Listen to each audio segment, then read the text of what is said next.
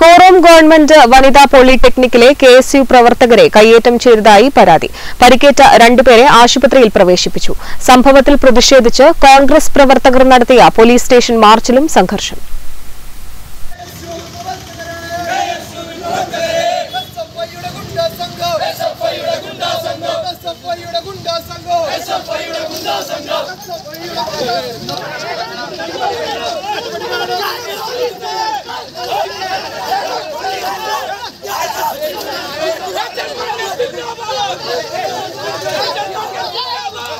കോറും വനിതാ പോളിടെക്നിക്കിൽ ഇന്ന് നടത്താനിരുന്ന കെ എസ് യു യൂണിറ്റ് സമ്മേളനത്തിനെത്തേണ്ട ജില്ലാ സംസ്ഥാന നേതാക്കളെ എസ് എഫ് ഐ ഡിവൈഎഫ്ഐ പ്രവർത്തകർ വഴിയിൽ തടഞ്ഞതായാണ് പരാതി തുടർന്ന് വനിതാ പോളിയിലെ കെ എസ് യു നേതാക്കളെ കയ്യേറ്റം ചെയ്തതായും പരാതിയുണ്ട് സംഭവത്തിൽ പ്രതിഷേധിച്ച് കോൺഗ്രസ് പ്രവർത്തകർ നടത്തിയ പോലീസ് സ്റ്റേഷൻ മാർച്ചിൽ ഉന്തും തള്ളുമുണ്ടായി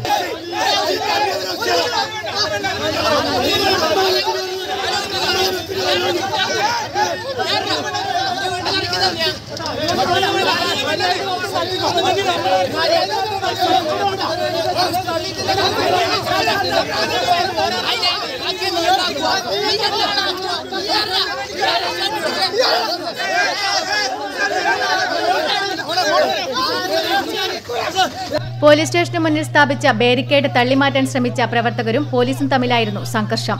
കെ ജില്ലാ president M C Athul K സംസ്ഥാന secretary Arjun Kattayat Payyanur block Congress president K Jayaraj Arjun Korom A P Narayanan Navaneetha Narayanan Bharathdeep Poduval തുടങ്ങിയവർ മാർച്ചിന് നേതൃത്വം നൽകി.